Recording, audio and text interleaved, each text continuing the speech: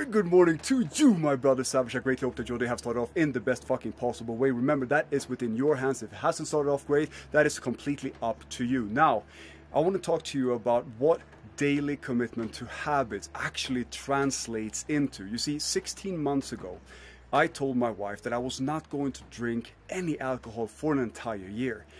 Now, starting off day one and thinking 12 months later down the road, that is a big motherfucking step. But you see, we are only blessed with one motherfucking day at a time.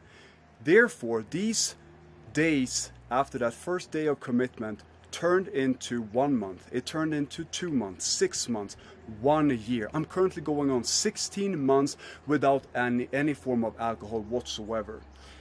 The same goes for working out. The Savage Army set up first of, I think it was first of July, a challenge to do 100 push-ups every single day for 100 days straight. Now that equals 10,000 push-ups. Once again, if you look upon it from day one, looking ahead, fuck, I don't know if I can do 10,000 push-ups. Well, guess what, motherfucker? You don't have to do 10,000 push-ups at once. At once. It's one day at a time. That daily commitment is going to translate to a fucking force of further savagery. Who are you going to be in a year from now if you commit to doing something great and investing in your spiritual, mental, and physical self right now, today, commitment for the rest of the year? Imagine that.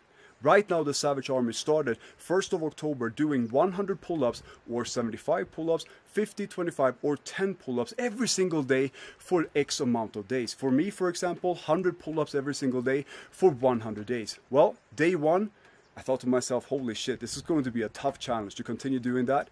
Now we are at day 27. I have invested 2,700 pull ups into my motherfucking machine.